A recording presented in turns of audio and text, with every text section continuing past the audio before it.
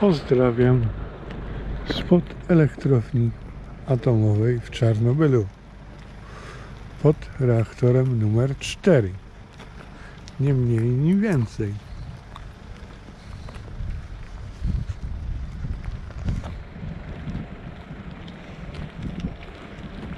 Ile jesteśmy?